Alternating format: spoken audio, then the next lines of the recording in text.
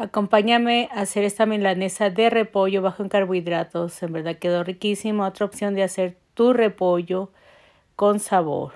Comenzamos. Hola amigos, el día de hoy vamos a hacer unas milanesas de repollo y para eso vamos a necesitar pan de almendra, pero yo lo dejo secar, entonces lo molí y le puse almendra también. Vamos a necesitar 6 huevos para la mitad de un repollo grande, especie italiana y ajo. Se lo vamos a poner aquí y sal a su gusto. El repollo, la media mitad de repollo la vamos a cocinar, a cocer, a zancochar, más bien no a cocer todo. Luego vamos a hacer las rebanadas grandes y vamos a hacer nuestra milanesa de repollo, una receta rápida, fácil, pero baja en carbohidratos. Entonces, es una receta facilita, pero muy rica también. Como les comento, no estamos comiendo carne, ya tenemos, vamos para el mes y nos hemos sentido muy bien. Y uno tiene que inventar, hice milanesa también de otras verduras. También voy a subir los videos, pero esta vez va a ser milanesa de repollo. Recuerden que estamos en Lily Blogs de todo un poco. No se olviden suscribirse, dar like, compartir y comentar. Gracias por su apoyo. Los invito nuevamente a que se suscriban. Y aquí estamos, voy a poner aceite de aguacate. Con eso lo voy a freír mis milanesas de repollo. Miren cómo amaneció el día de hoy. Ya se está cayendo la nieve, se está derritiendo. Está muy hermoso el día de hoy pero el viernes nos va a volver a nevar. Y aquí tengo lo que uso yo siempre para que necesito empanizar o algo. Ya saben, aquí tengo mi pan que hice, pero lo dejé secar, lo molí y también le añadí más almendra. Aquí tengo la raíz, esta es la que yo utilizo en vez de maicena o harina. Estamos haciendo bajo en carbohidratos y esa yo la utilizo más, aquí la tengo. Aquí tengo mi medio repollo que está grande, por eso voy a hacer medio nada más. Lo cocí en el microondas por 5 minutos, le puse un poquito agua y lo cocí y ya voy a hacer las rebanadas. De esta me van a salir 7 rebanadas. Voy a utilizar nada más 4 huevos y mi pan. Ya tengo mi aceite listo para empezar a hacer lo que son mis milanesas de repollo. Bajas en carbohidrato, entonces ya con eso y alguna sopita nada más así leve de calabazo o algo para acompañarlo. Otra cosa está bien porque pues en realidad estamos haciéndolo bajo en carbohidratos. Y lo vamos a dejar así para que suelte el agua, todo lo que exceso de agua que pueda tener para que se nos facilite ponerlo en dos servilletas, secarlo y luego ponerlo en nuestro primer paso para poder que el huevo se pegue.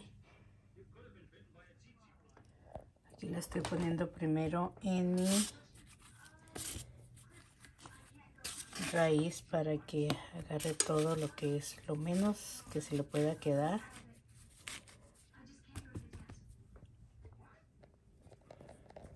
Y una vez que lo tenemos aquí, nada más lo vamos a agarrar lo vamos a pasar en nuestro pan y de aquí pues ya directo a, a freír.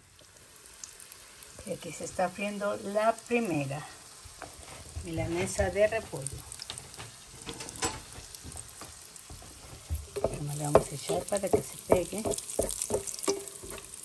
Y le tenemos que ingeniar de, de cómo es más fácil para nosotros partir el repollo en rodajas y cocerlo, no, ya es opcional.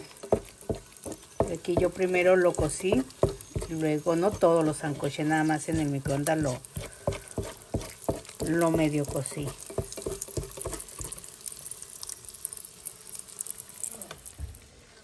Y aquí está, yo lo puse en medio, en medio alto, no tan, tan bajo, la,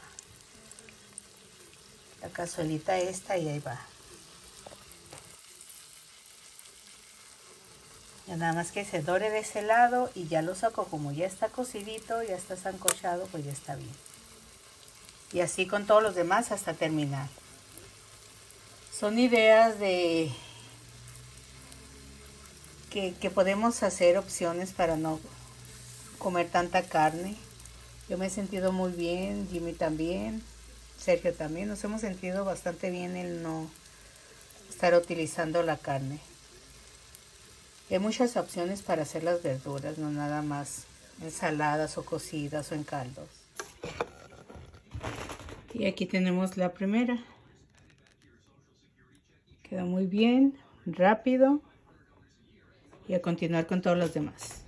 Y así quedó la milanesa de repollo. Ya nada más la voy a meter al horno a gratinar. Le voy a poner queso encima y la voy a acompañar con otra cosa. A ver qué se me ocurre acompañarla. Pero aquí está milanesa de repollo.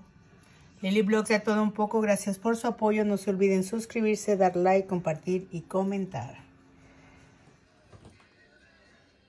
Y aquí le puse queso romano encima, lo voy a meter al horno a gratinar y listo. Lo voy a acompañar con zucchini, espagueti y pero aquí le voy a acompañar también con salsa alfredo. Y esa va a ser nuestra cena el día de hoy, baja en carbohidratos.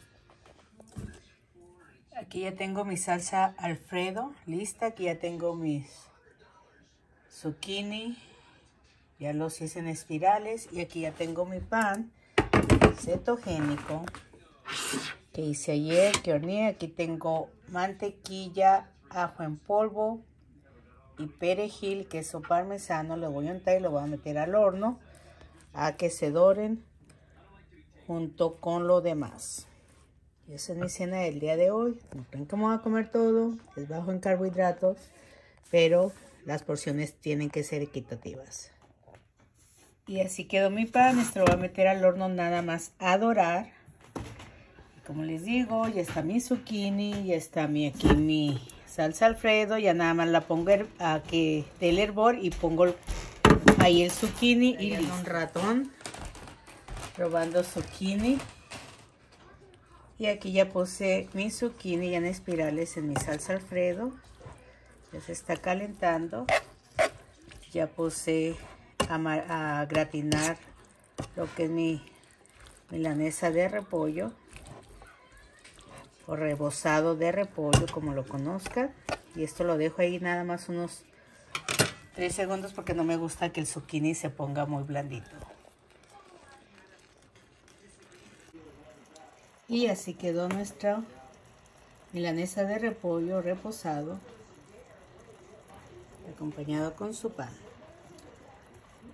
Recuerden suscribirse a Lily de todo un poco. Gracias por su apoyo. Les deseo bendiciones a todos y nos vemos para el día mañana con otra receta baja en carbohidratos o cetogénica.